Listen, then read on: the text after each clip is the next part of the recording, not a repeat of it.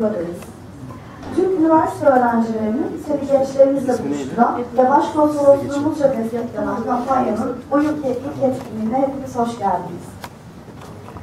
Başkonsolosumuz Ali Barış Uluksoy ve FAVI Derneği Başkanı Tekin Deniz'in açılış konuşmalarıyla başlayacak olan programımız, ULB, Katolik Loren, St. Louis ve Liège Üniversitelerinde okuyan öğrencilerimizin yapacakları kısa sunumlarla devam edecek.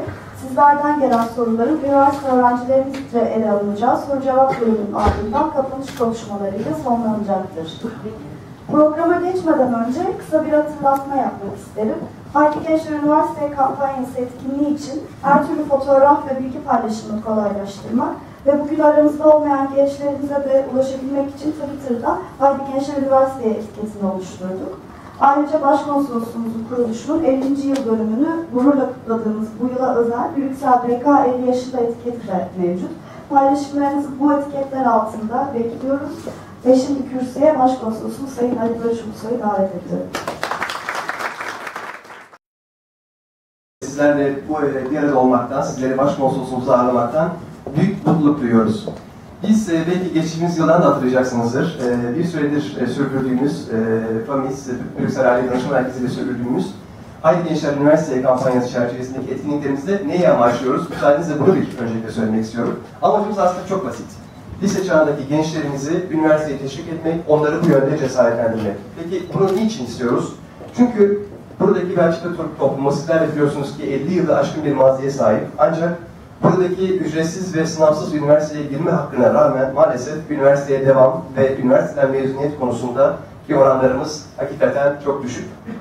Ee, peki bunun sonucunda nasıl bir tabloyla karşı karşıyayız? Maalesef üniversite tahsili gerektiren kadrolarda yani örneğin avukat, doktor, mimar, mühendis gibi kadrolarda maalesef çok fazla Türk göremiyoruz. Ve bu da tabii şüphesiz e, Türklerin, buradaki vatandaşlarımızın Belçika Türk e, toplumu içerisindeki görünürlüğünü, statüsünü ve ağırlığını tabii maalesef olumsuz etkiliyor veya sınırlandırıyor.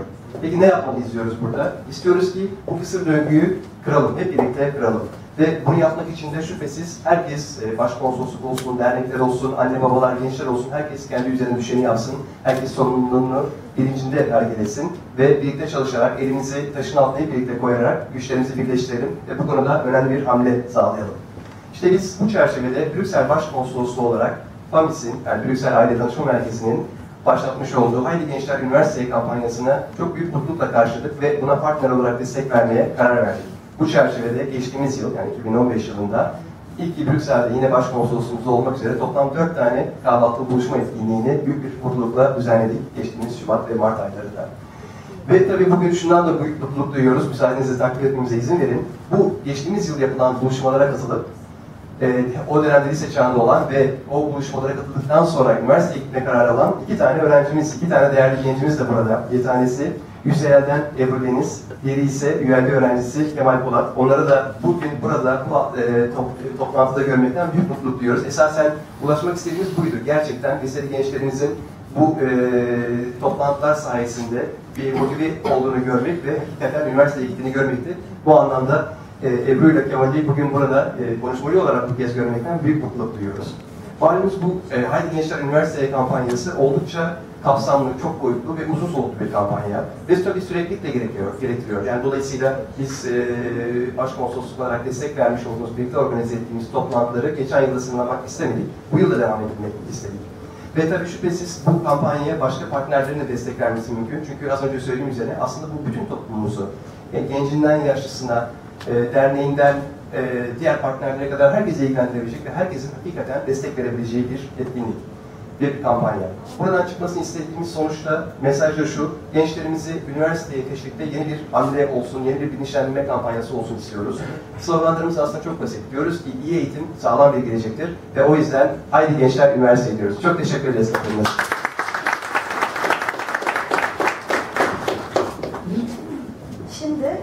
Derneği Başkanı Sayın Tekin Deniz'i konuşmasını yapmak üzere davet ediyorum.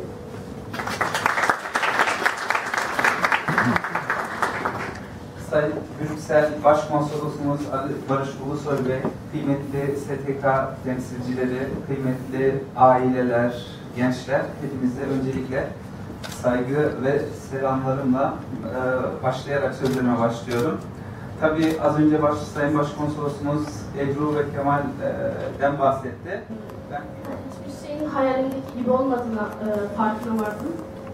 Pratik dersler olsun, e, teorik dersler olsun, proje olsun. E, hiçbir şey beni tatmin etmedi. O yüzden kendime ait hissetmediğim için e, dillere yönelmeye karar verdim. Aynı şekilde ULB'de tercümanlık derslerine başladım.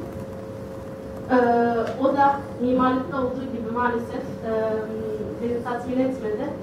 E, o, o yüzden biraz kararsız kaldım babamın da tavsiyesine uyarak aklımın ucundan geçmeyen bir e, meslek e, denemeye karar verdim. Ve e, hayatım boyunca nefret ettiğim fenlere e, atıldım bir nevi. E, ve e, biyo, biyomühendislik fakültesine yazıldım. Ve tek anlamıyla e, derslerine hayran kaldım.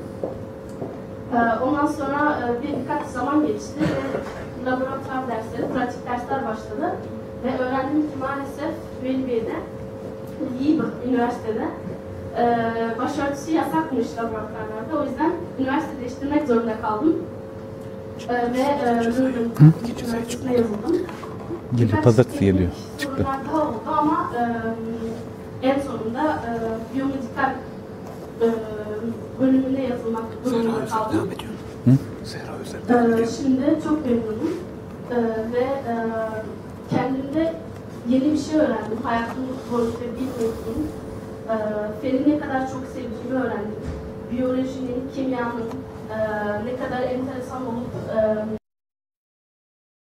e, zamanlarda bir veya iki hafta sürmekte bu açık kapı e, zamanı. E, bü- üniversiteye bütün gençler girebilirler. Yani e, ilk sadece liseyi bitirmek e, gibi bir şart olmadan bütün derslere gidip e, izleyebilirler, bakabilirler, sorular sorabilirler ve üniversite öğretmenleri de e, birçok günde müsait olmaktalar. Dolayısıyla e, seçecekleri bölüm için faydalı olacaktır muhtemelen. Ee, yine tavsiyem belki buradaki genç arkadaşlarımızla birebir e, tanışma imkanınız olursa genç arkadaşlarımızın. Çünkü bugün burada yapılan toplantı mu- muhakkak çok önemli. Çünkü amaç e, başkonsolosumuzun dediği gibi sizlere motive edip üniversiteye getirmeniz. Ama o, o yol o uzun soluk olacak aynen onun dediği gibi. Orada da FAMİS Derneği'ne büyük bir görev düşmekte. Çünkü bu iki saatte kalmamalı. Daha ilerleyen zamanlarda da e, devam edecektir muhtemelen. Bu genç arkadaşlarımız bugün vakit ayırıp gelmişler. Birçoğu birinci sınıfta, ikinci, üçüncü sınıftalar. E, kendileri bitirmediklerine e, rağmen burada size yardımcı olmaya çalışıyorlar. Muhtemelen eve döndüklerinde kitaplar alıp çalışacaklar. Çünkü onlar için bir zamanda e, vakit kaybedemeyeceğim. Çok size yardımcı olmaya çalıştılar ama e, anlattıkları kadar her şey o kadar da basit değil. Yani üniversite okumak. Ama ben birkaç kelimeyle kendi geçmişimden bahsetmek istiyorum. O yüzden hani onlar korkmayın dediler. Ben de ona ek olarak e, söylemek istiyorum. E, 16 yaşında göç edenlerdenim ben Brüksel'e gelip.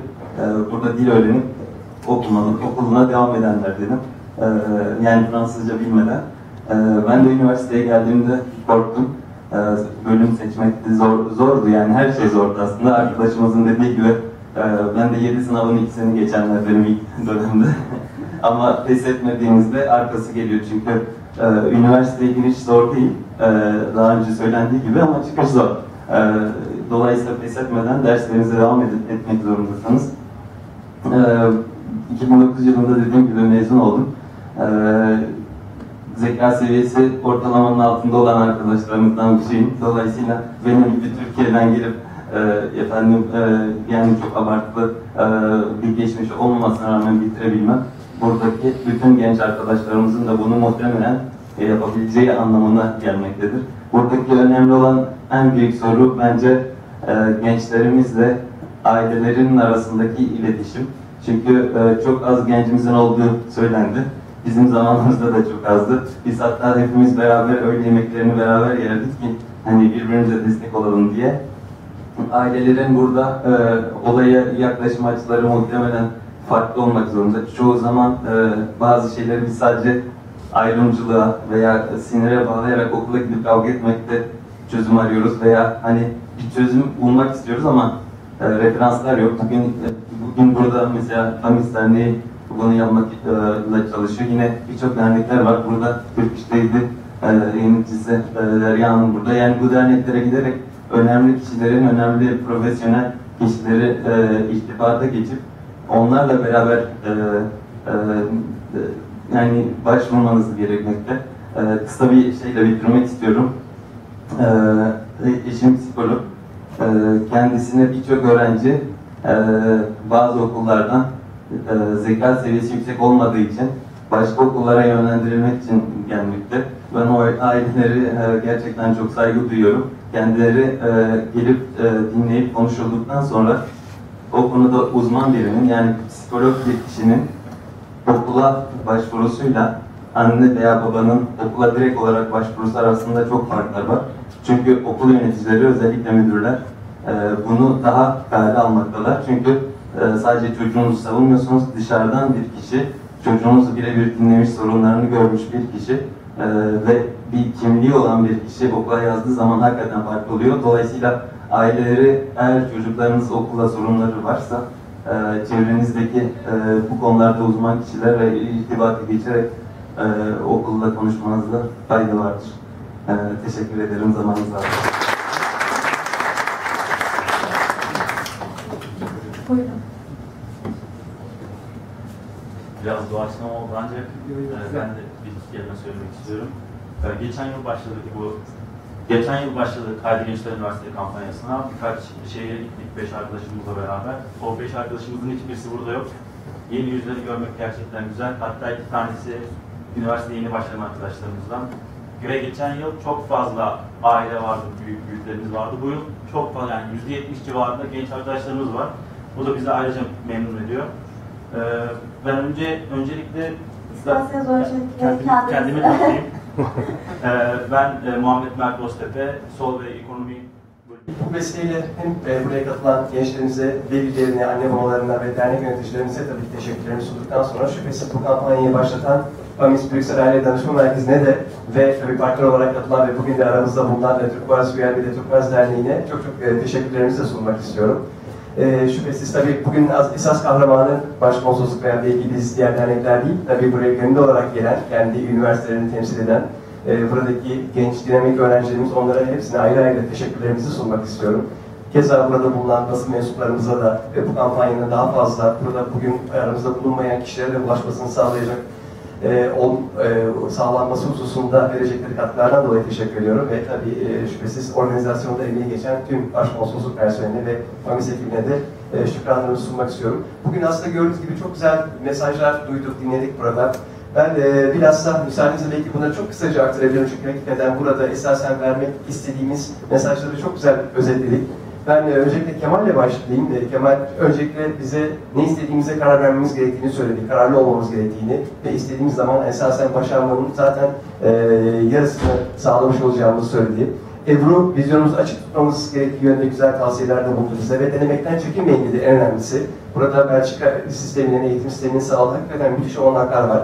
Az önce e, Osman'ın söylediği gibi gerçekten Türkiye'deki e, yaşıtlarınızın, arkadaş, akranlarınızın belki elinde olmayan fırsatlar, imkanlar var ve buna hakikaten yararlanmak gerekiyor.